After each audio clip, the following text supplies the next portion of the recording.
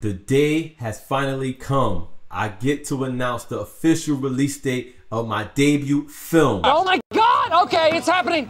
October 26th, What Happened at 625 River Road will be in Regal's movie theater. Anything's possible.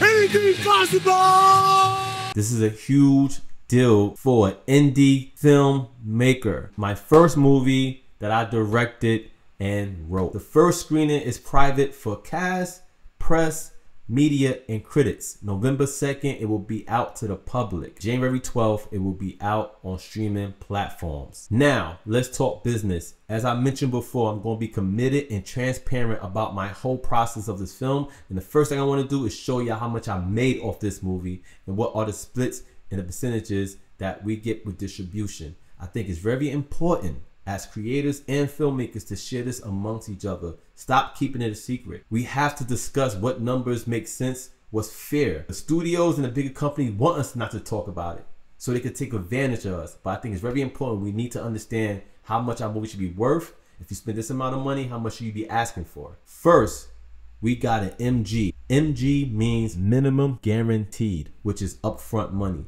of $20,000. This is a 10 year deal, meaning like they have rights to my film for 10 years. Now be clear, this is only for America and Canada. The splits theatrical is a hundred percent for us. There is no deal like this for indie filmmakers. A hundred percent. Non-theatrical is 65 35 favorite to them. Video rental 6535 favor to them. Video sell through 6535 to them. VOD 6535 to them. Paid TV 6535. Free TV 6535.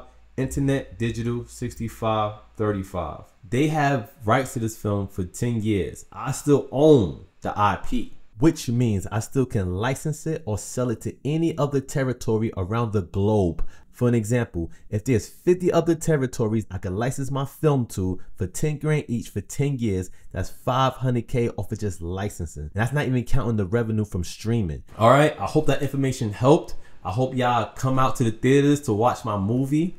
Also, another thing, y'all asked me a lot of questions in my DMs, but I prefer y'all to leave it in my comments because I want other people to see your question because they might have similar questions to you guys. And let's network. Let's build this community. It's important. That's the only way we're going to thrive in this business.